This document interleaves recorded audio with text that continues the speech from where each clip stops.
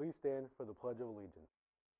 I pledge allegiance to the flag of the United States of America and to the republic for which it stands, one nation, under God, indivisible, with liberty and justice for all. Welcome back, hot dogs. I hope you enjoyed your extra day off. I'm Miss Scarlett. And I'm Izzy. Stay in tune for an announcement from SADD, the football and cross country results, and more. But first, to weather with Chris. Thanks to Scarlett, today is going to be a high of 90 and a low of 69. There's a 20% chance of rain, so we probably won't see any, but we will see some later this week. That's it for weather. Now back to the studio with Izzy. Thanks, Chris.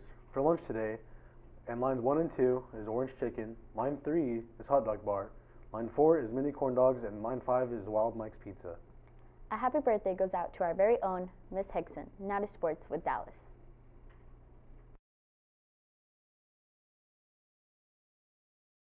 Thanks, Scarlett. I'm Dallas with the, with sport, and there was cross country action and football action over the weekend.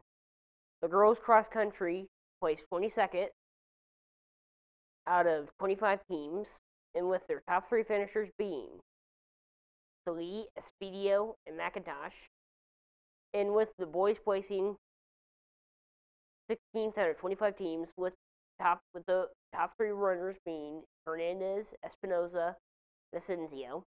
And for, and for football, the boys JV varsity fell to Tri West, making them two and one on the season. Lots of lots of athletics tonight, so go out and see your team and support them. Now for the quote of the day, it is: "There's a war coming to the surface, and I am bringing the wrath of the seven seas with me." Ocean Master Aquaman trailer.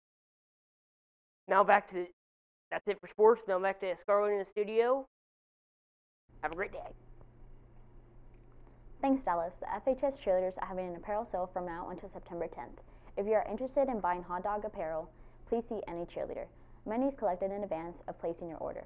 All the money earned, earned will go to the cheerleaders to help them offset their costs during the year. Also, any student in band year needs to get pictures taken in the band room today.